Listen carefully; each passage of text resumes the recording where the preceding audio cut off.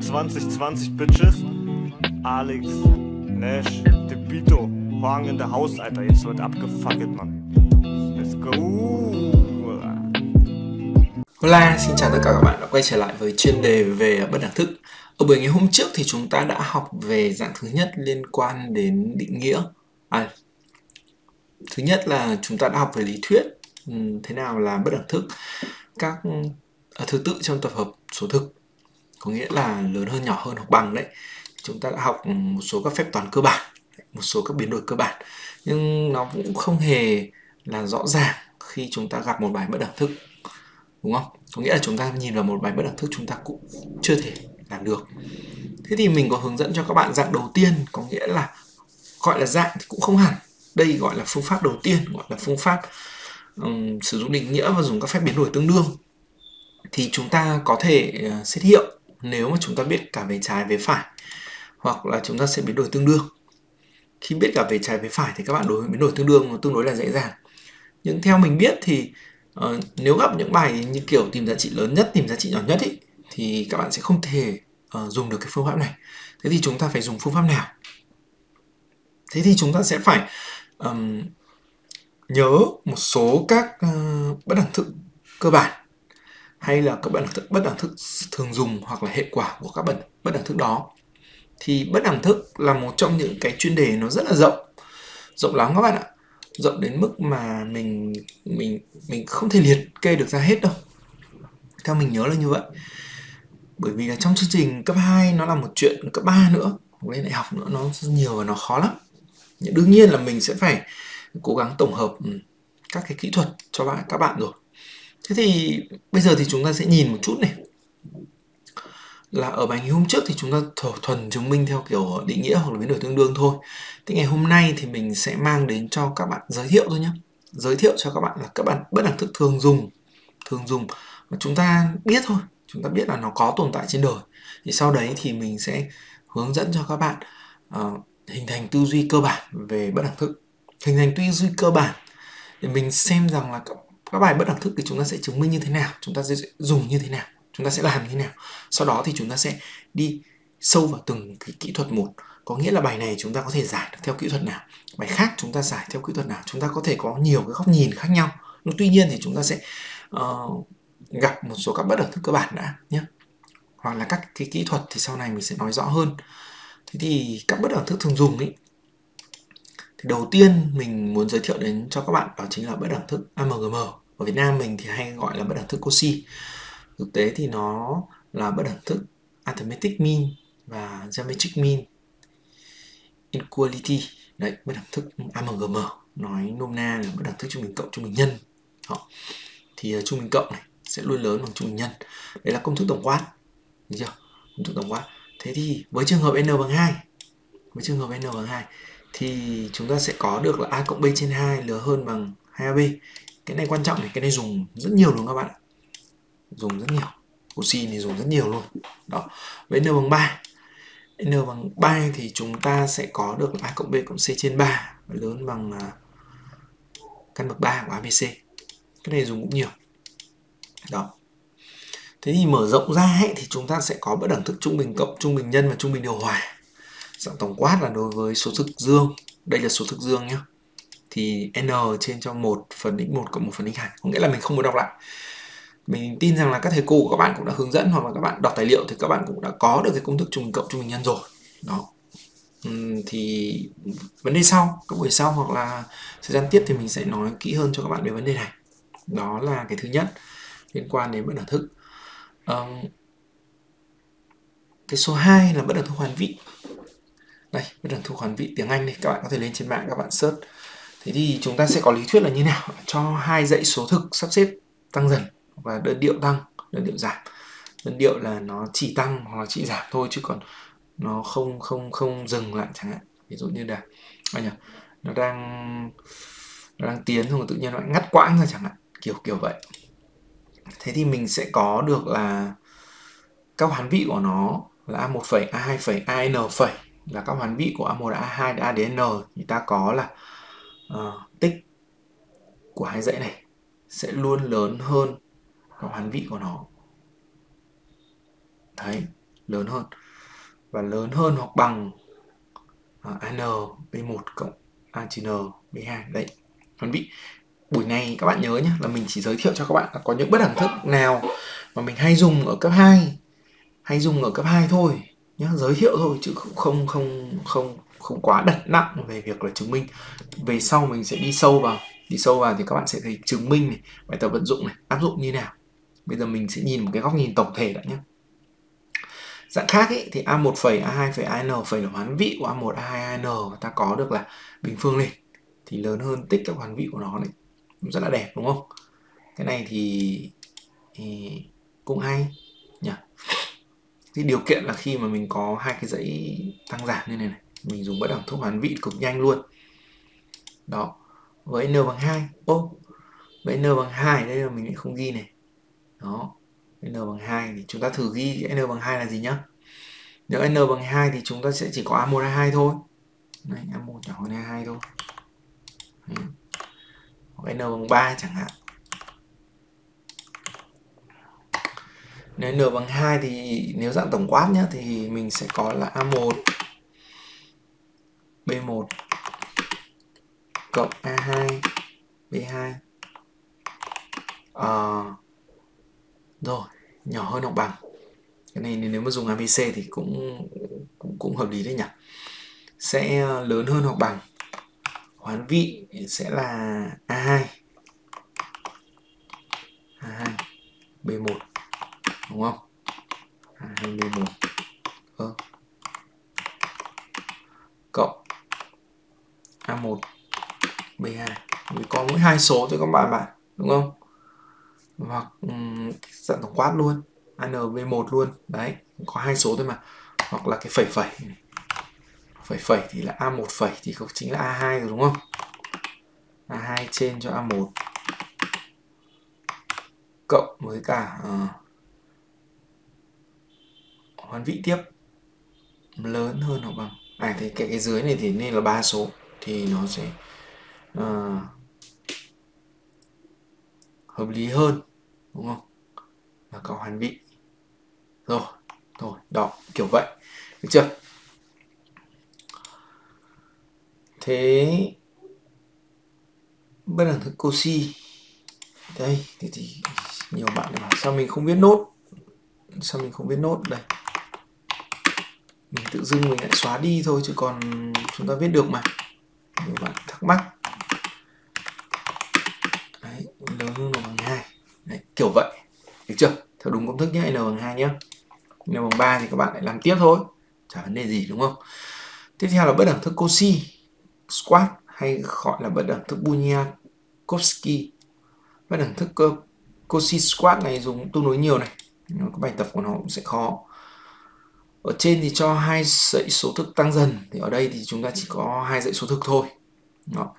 thì tổng bình phương tích hai tổng bình phương của hai dãy này thì lớn hơn tích của chúng này. Đấy, kiểu kiểu cũng hơi, hơi giống bất đẳng thức um, hoán vị đúng không? Nhưng mà nó bình phương lên và nó cũng có cái gì đó nó khác đúng chưa? Với n bằng 2 ấy, thì abxy là các số thực. Thì a bình cộng b bình nhân x bình cộng y bình lớn bằng x cộng y tất cả bình. Đẳng thức xảy ra khi a phần x bằng b phần y. Cái này dùng nhiều này. Ba số cũng dùng nhiều này. Đấy thì như vậy là mình đã giới thiệu cho các bạn ba bất đẳng thức. Chúng ta biết thôi nhé được chưa? Nhớ lại là chúng ta biết thôi. Tiếp tục nhé ta sang cái số 4 gọi là bất đẳng thức uh, squat. Thường gọi là bất đẳng thức cộng mẫu hoặc là bất đẳng thức cosi squat dạng Enzo. Đấy. đấy thêm con uh, con gì? Con ngỗng. À, cho đẹp đúng không? Dạng này thì các bạn nhìn thấy là bất đẳng thức cộng mẫu này mẫu được cộng hết lại với nhau tử cộng lại với nhau nhưng mà tử cộng dạng bình phương. Đấy tử phải là dạng bình phương. Được chưa? Với n bằng 2 ấy, thì các bạn sẽ thấy rằng là ab số thực y lớn không nhá? Điều kiện rõ đấy. Như vậy là a bình trên x cộng b bình trên y lớn hơn bằng nếu mà các bạn cứ thấy là tử mà bình phương được có thể chuyển được dưới dạng bình phương mà mẫu lại cộng lại với nhau ấy thì dùng bất đẳng thức này thì cực mạnh luôn. Đấy. Cái số 3 là bất đẳng thức ừ, à với n bằng 3 n bằng 3 thì cũng vậy thôi đúng không? N bằng 2 n bằng 3 những cái này là có những cái mà các bạn bắt buộc phải thuộc nhé không thuộc là không làm được bài đâu. Tuy nhiên thì đang ở dạng giới thiệu thì chưa cần thuộc. Chứ còn về sau ấy thì phải thuộc nhé chúng ta biết là nó có tồn tại trên đời chúng ta còn dùng. Bất đẳng thức thứ tư gọi là bất đẳng thức net bit à, ờ, kiểu cũng có ba số thực dương bây giờ kiểu thế nào nhỉ? Sắp xếp mình nói chả rõ được đúng không? Đấy. Lớn hơn bằng 3 phần 2 à, dấu băng xảy ra khi a bằng b bằng c đúng không? Đẳng thức xảy ra khi a bằng b bằng c. À, quên mất đúng không? A bằng b bằng c. Chưa đây là bốn bất đẳng thức rồi nhá. Tiếp tục này. Ờ, Ở bất đẳng thức số 6 ô lộn số à? Đây là 4 ở à đây thì đây phải là 5 đấy. Mình nhớ là sắp xếp nó phải chuẩn thế đúng không? Số 5 này. Bất đẳng thức uh, ờ, Mikovsky. Nghe tên cũng thấy nga rồi nhỉ? Hệ quả của bất đẳng thức Cauchy squat Minkowski à, cho hai dãy số thực. À vẫn cho hai dãy số thực nhưng bây giờ thì có căn. Có căn. Có căn thì uh, cảm giác nó hơi khác nhỉ? Kiểu ờ, uh, Pythagore ấy, đúng không? Pythagore bất đẳng thức này thì nếu mà chúng ta lên lớp 10 thì chúng ta thấy rằng là nó giống bất đẳng thức, bất đẳng thức vector.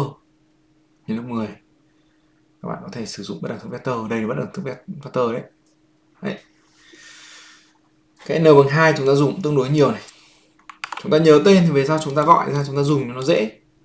Còn nếu mà chúng ta không nhớ tên, về sau chúng ta dùng thì rất là khó, kiểu vậy. Thì mình giới thiệu cho các bạn thôi, chứ còn về sau mình bắt buộc mình phải chứng minh cho các bạn bởi vì là cách chứng minh những bất đẳng thức này sẽ cho ta những cái phương pháp chứng minh bất đẳng thức rất hay luôn. Bắt buộc phải học. 12 số với ba số. Đấy. nói chung là dùng cái số 2 này nhiều hơn này. Dùng cái số 2 này nhiều nhất này. Số 3 này ít dùng, n bằng 3 ít dùng. Bất đẳng thức số 7 là Chebyshev Chebyshev thì lại được ừ, nói giống như kiểu bất đẳng thức ừ, ờ, hoán vị cho hai dãy số thực tăng dần đều. Nói chung là đơn điệu tăng hoặc đơn điệu giảm. Hai dãy đơn điệu thì chính xác hơn. Đơn điệu tăng hoặc đơn điệu giảm. Thì dạng số 1 thì là tích của chúng trên n thì lớn hơn hoặc bằng cái này. Ừ. Các bạn thấy thế nào? Mình cũng chưa thể ừ, chưa thể đọc được cho các bạn vì để đọc cứ A1 B1 cộng BA2 B2 cộng gì đấy thì, thì nói chung là ai cũng biết đọc thôi thì cái gì phải đọc lại đúng không? Chúng ta pause lại chúng ta chép và chúng ta ghi nhớ. Đương nhiên thì các bạn sẽ thấy rằng là tích từng cặp một chia cho n thừa số sẽ lớn hơn ý, tích trung bình cộng của từng dãy một. Hay lớn hơn trung bình cộng của từng dãy một. Như thế thì dễ hiểu rồi đúng không?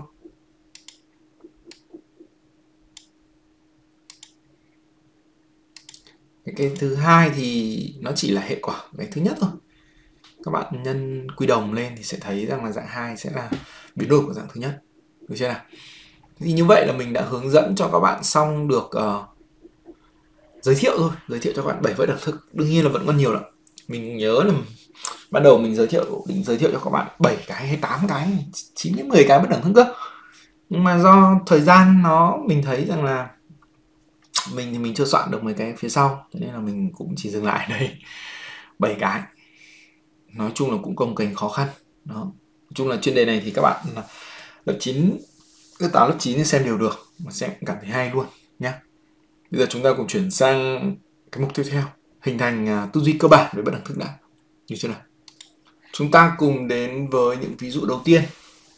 Hình thành tư duy cơ bản về bất đẳng thức. Thì các ví dụ sau đây thì ừ, rất cơ bản đối với nhiều học sinh nhưng cần thiết đối với chúng ta khi học sâu về bất đẳng thức hơn. Thì hiện tại trong tay các bạn sẽ có bộ công cụ gì? Thì xin thưa là các bạn, nếu bạn nào mà bắt đầu lớp 8 nếu bạn nào mà xem các video của mình từ đầu ấy, thì chúng ta sẽ thấy rằng là bộ công cụ của chúng ta thì chỉ có mỗi một phương pháp thôi. Đó chính là xét hiệu hoặc là um, gì nhỉ? Biến đổi tương đương đúng không? Thế bây giờ thì chúng ta cũng sẽ bắt đầu những bước tập tễnh đi đi đã. Đừng vội nhá đừng vội. Thế thì nếu mà chỉ có mỗi một ờ, cách thì chúng ta sẽ sử dụng cái cách đấy đúng không nào? Thì cách rất là đơn giản thôi. Chúng ta chỉ cần uh, chuyển vé chúng ta xét hiệu hoặc, hoặc là biến đổi tương đương đúng không? Thì chúng ta thử làm nhé Ờ, như thế này. X cộng 1 phần x lớn bằng 2 đúng không? Thì bây giờ là với mọi số thực x ừ, với mọi số thực với mọi số thực x x dương chứ đúng không? Với mọi số thực x dương Đó. thiếu chữ dương này nó cũng vấn đề đấy thì làm như nào này thì các bạn để ý này thì chúng ta sẽ lấy là x này. Ờ, cộng 1 phần x cộng 2 à, trừ 2 đi. Chúng ta quy đồng lên là x bình trừ quy đồng quy đồng cộng 1 trừ 2x trên x. Đúng không? Xét hiệu nhá xét hiệu nhá. Thì cậu này sẽ bằng là x trừ 2 à, x trừ 1 tất cả bình trên x đúng không? Thì với điều kiện là x lớn không rồi thì có phải là x trừ 1 bình phương lớn hơn bằng không không? Thì như vậy là cậu này lớn hơn bằng không. Khi đó mình chuyển về là ok, được chưa? Thế thì như vậy là chỉ bằng cách là xét hiệu hoặc biến đổi tương đương chúng ta đã giải quyết xong ví dụ 1.1. Điều này rất là tự nhiên, được chưa? Cái ví dụ này thì chúng ta đã được làm ở phần trước rất là nhiều rồi. Được chưa? Thế bây giờ này câu chuyện này, chúng ta sẽ ghi nhớ ví dụ 1.1. Ghi nhớ nhá. Chúng ta ghi nhớ ví dụ 1.1. Chúng ta ghi nhớ vị trí ví dụ. Bắt đầu là kể từ bây giờ chúng ta sẽ ghi nhớ các ví dụ. Chúng ta dùng các ví dụ đã được chứng minh để làm các bài tập tiếp theo. Được chưa? Có nghĩa là những cái gì mà chúng ta đã được chứng minh rồi thì chúng ta được phép sử dụng mà chúng ta sử dụng một cách thuần thục cho mình. Thuần thục bằng cách nào chúng ta phải ghi nhớ mà chúng ta áp dụng thôi. Áp dụng từng bước một là xong nhá. Thì bây giờ chúng ta chuyển sang ví dụ số 2 ví dụ số 2 ví dụ số 2 thì cũng gần giống như ví dụ số 1 và các bạn sẽ thấy rằng là a đây này. A phần b cộng b phần a lớn bằng 2 thì hình như đâu đó nó giống như cái bất đẳng thức mình giới thiệu. Ừ, ở đâu nhỉ? Mình thử tìm nhá. Ờ hơi hơi giống hoán vị đúng không? Hơi hơi giống hoán vị. Đây hơi hơi giống hoán vị. Nhưng mà hai dãy này phải thực sự là tăng giảm cơ đúng chưa? Ở đây thì uh, chưa có tăng giảm đúng không? Chưa có tăng giảm thì có vẻ là không ổn lắm. Ừ. được chưa? Hai dãy số thực dương thôi. Số thực dương số thực x dương số thực dương x chứ. Đúng không? Rồi. Thì bây giờ câu chuyện bài này như nào? Câu chuyện là chúng ta sẽ có thể áp dụng được bài ví dụ 1.1 đấy. À, tại sao lại là có thể áp dụng được bài 1.1 rồi? Các bạn sẽ thấy là rất hay này. Ừ mình quen tay nếu các bạn gọi x bằng 2 phần b thì có phải là 1 phần x sẽ bằng là b phần a không thế như vậy là áp dụng ví dụ 1.1 thì chúng ta sẽ có được là x cộng 1 phần x sẽ bằng là a phần b cộng b phần a sẽ lớn hơn bằng 2 chưa? Điều phải chứng minh, đúng chưa? Dấu bằng xảy ra ở trên thì bằng 1 thì có nghĩa là um, x trừ 1 bằng 0 đúng không? Có nghĩa là ừ, cái, như vậy là mình sẽ có được là a phần b bằng 1. Đấy, a phần b bằng 1 thì chứng tỏ là a bằng b. Đúng chưa? Ok chưa? Như vậy là ở ví dụ số 1.2 1.2 này chúng ta đã có thể áp dụng ví dụ 1.1 ngoài ra thì các bạn cũng có thể sử dụng cái phương pháp đó chính là um, biến đổi tương đương đúng không?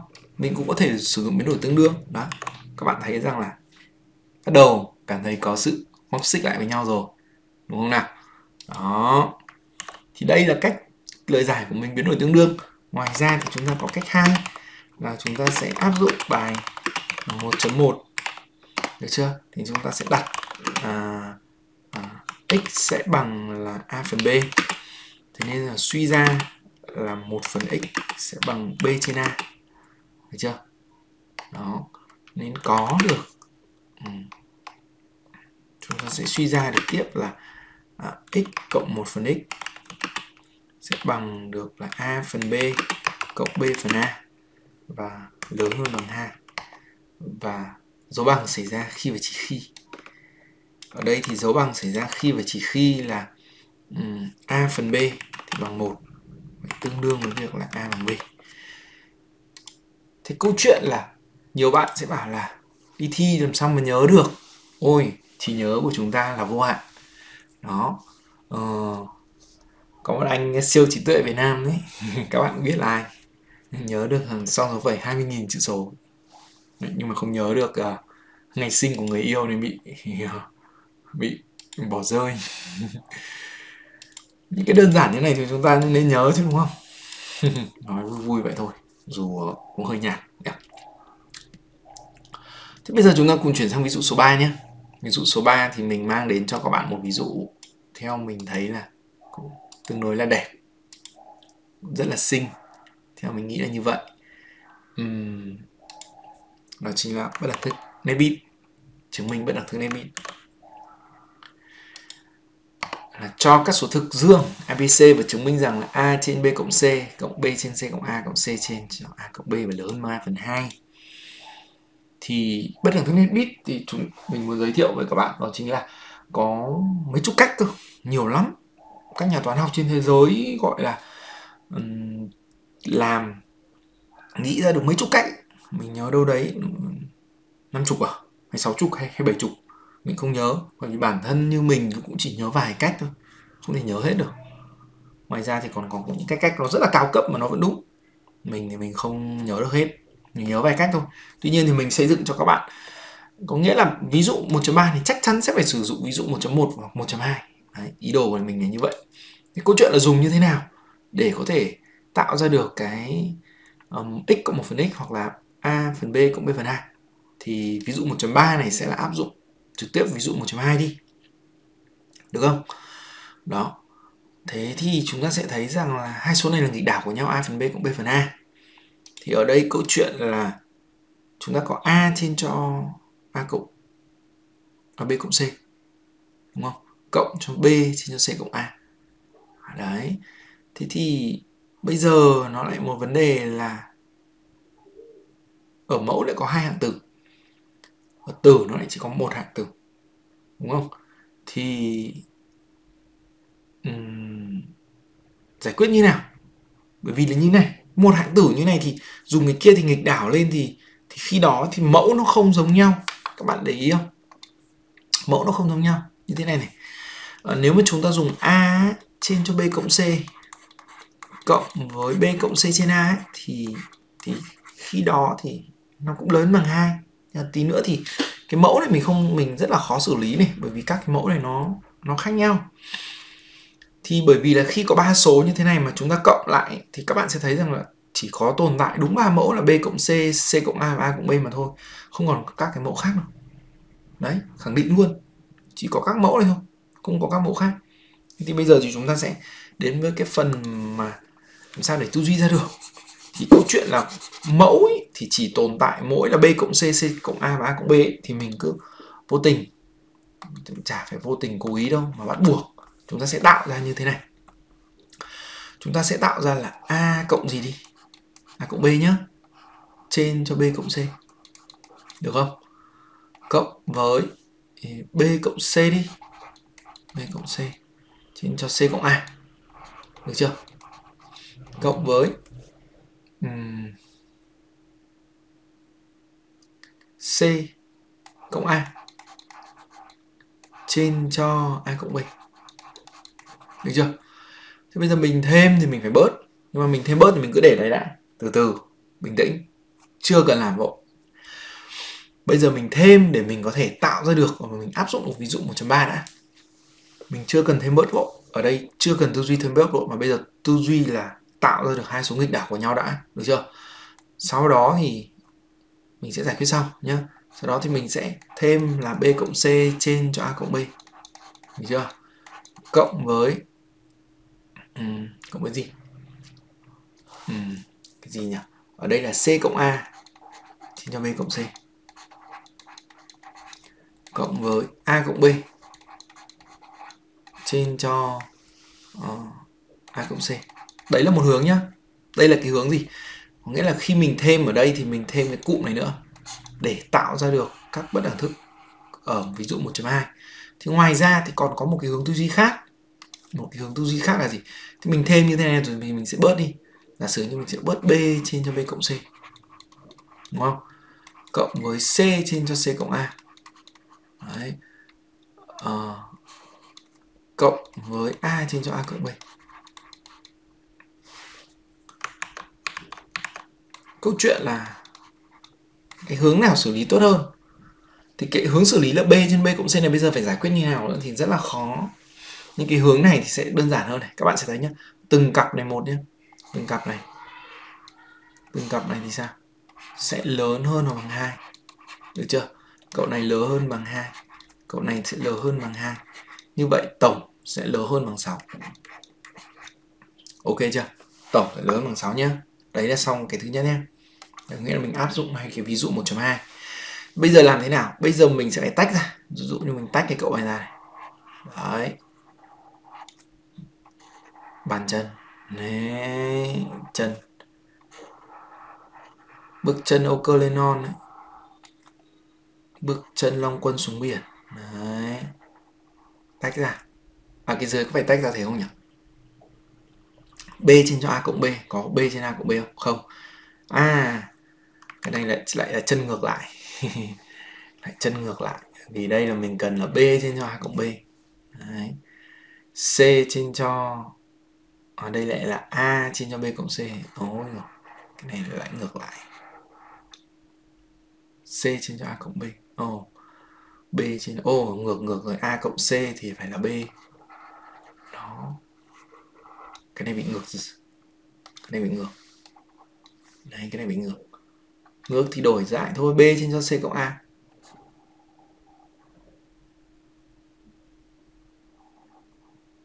Nghe đúng đúng rồi mình tách cụm này ra chứ đúng không?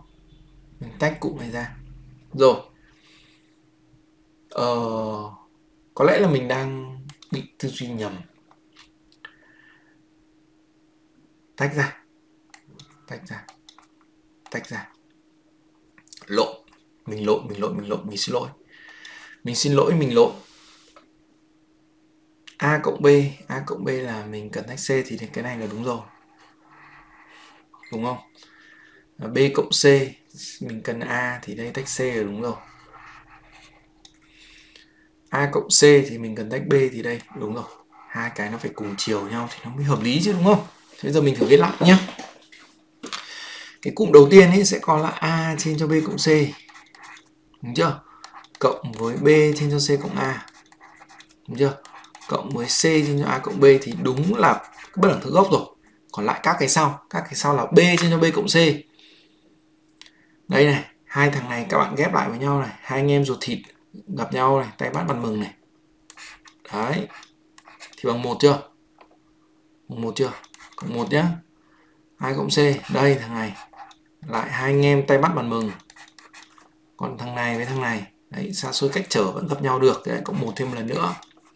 Còn bây giờ là ở dưới, lại có hai lần cơ đúng chưa? Nói vẫn hơi khó hiểu đúng không? Rồi cậu này lớn bằng 6 hiểu ý mình không? Thế thì bây giờ là chuyển về đi, thì thằng này lớn bằng 3 Chị 2 đi, thì lớn bằng 3 phần 2 ok chưa? Đúng chưa? Cả cái cụm này sẽ lớn bằng 3 phần 2 rồi này. Đúng chưa? Đúng không? Đây, đổi lại cái màu nâu.